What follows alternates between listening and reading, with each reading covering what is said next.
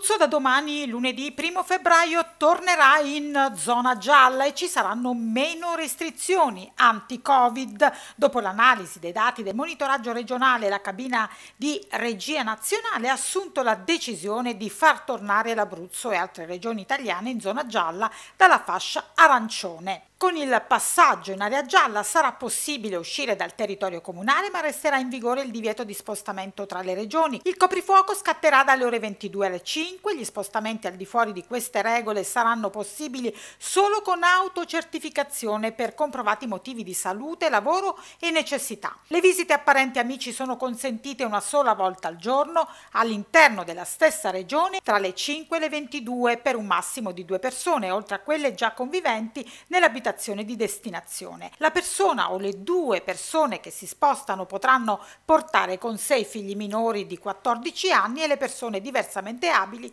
o non autosufficienti che convivono con loro. Per bar e ristoranti la riapertura è consentita al pubblico fino alle ore 18. Dopo le 18 fino alle 22 sono consentiti la vendita con asporto di cibi e bevande e le consegne a domicilio. Nelle giornate festive e prefestive sono chiusi gli esercizi commerciali nelle gallerie dei centri commerciali, a eccezione di farmacie, parafarmacie presidi sanitari, punti vendita di generi alimentari, tabacchi ed edicole. Musei e mostre riaprono da lunedì al venerdì con esclusione dei giorni festivi e con ingressi contingentati nel rispetto delle misure anti-Covid. In zona gialla è consentita la pratica dell'attività venatoria dentro i confini regionali, palestre, piscine, centri natatori, centri benessere termali restano chiusi a eccezione delle prestazioni erogate per l'assistenza, le attività riabilitative o terapeutiche e per gli allenamenti degli atleti, professionisti e non professionisti, che devono partecipare a competizioni ed eventi riconosciuti